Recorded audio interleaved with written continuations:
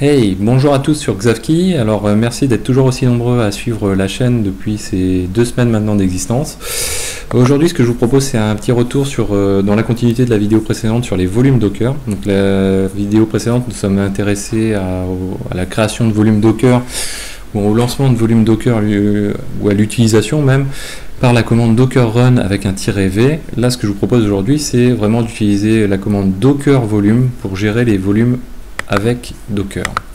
Donc Docker volume, c'est une commande qui peut prendre 5, euh, actions, 5 arguments, euh, soit la création, donc avec create, soit inspect, donc maintenant on le connaît, on peut aussi le faire un, docker euh, inspect, le nom du conteneur, voir le détail sur les, conteneurs.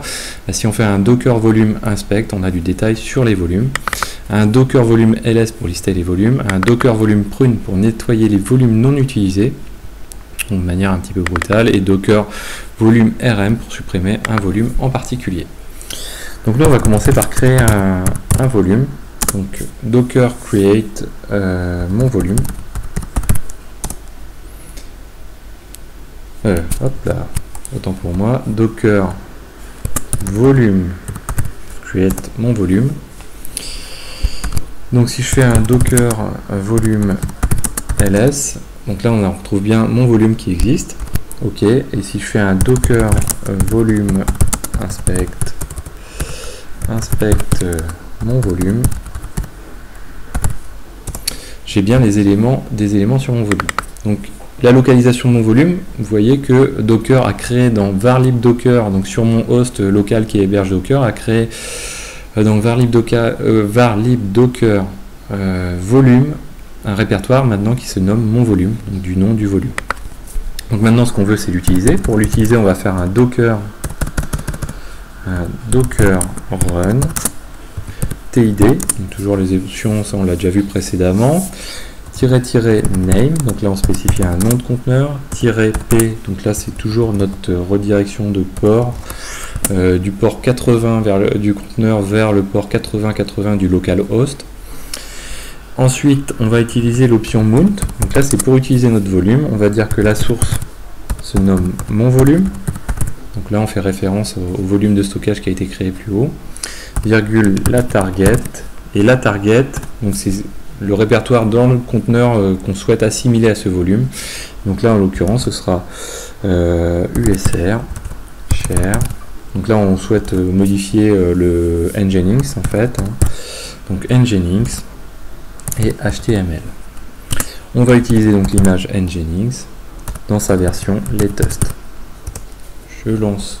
Alors, qu'est-ce qui se passe? Mon volume, tatati, le mount, source, mon volume, qu'est-ce qu'il dit? Tirer flag invalide. Ouais, ok,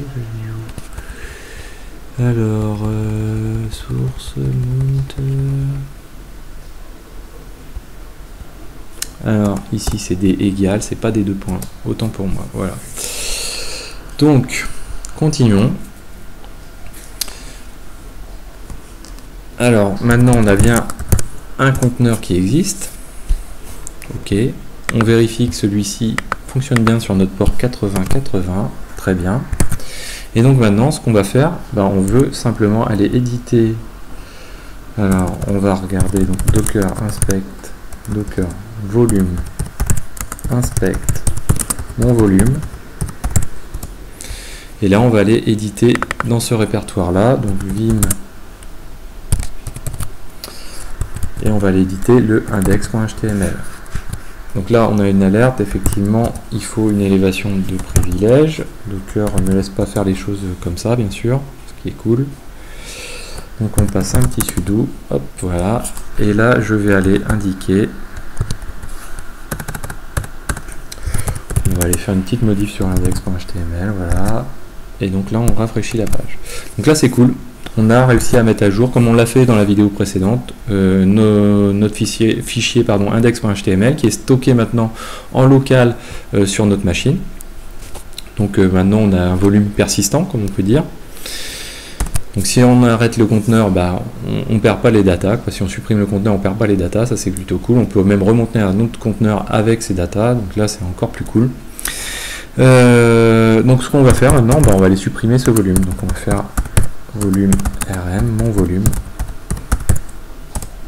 Et là, on a un message d'erreur qui nous indique que ce volume est utilisé par un ID. Là, l'ID en l'occurrence, c'est l'ID, donc si je fais un docker ps, c'est l'ID euh, de mon conteneur. Donc là, vous voyez que Docker met l'ID euh, complet ici, mais en fait, les quelques premiers caractères suffisent pour identifier le conteneur.